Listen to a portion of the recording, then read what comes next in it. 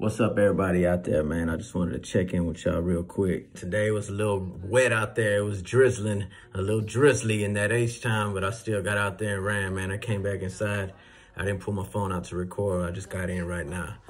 But uh, I just wanted to talk to y'all, man. I wanted to talk to the uh, young up and coming artists, man. Get them some motivation to do them, man. Just do you, man. Don't worry about what you're hearing on the radio. Don't worry about what you're seeing these other rappers do or how these other rappers are sounding. How everybody want to rap the same now, talk about the same thing.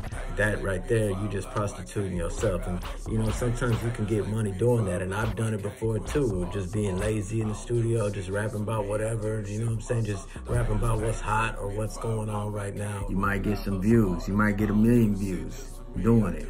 But if you want longevity and you want to be able to last, when that fad is gone and when that trend and that wave that you riding is gone, where will you be when that wave is no longer hot that you've been following? Now you're to have to wait for the next wave to come and then you're to jump on that one and that's when you're gonna fall off. That's a true artist that can really just get inside of themselves and put out what they really feel it and who they really are and rap for what's coming from above, that inspiration that they're getting from someone else and they're getting guided by God. That's really God giving me them lyrics whenever I'm spitting it out to y'all. It ain't me, it's not coming from me, I'm giving all glory to God. opportunity. I, I ain't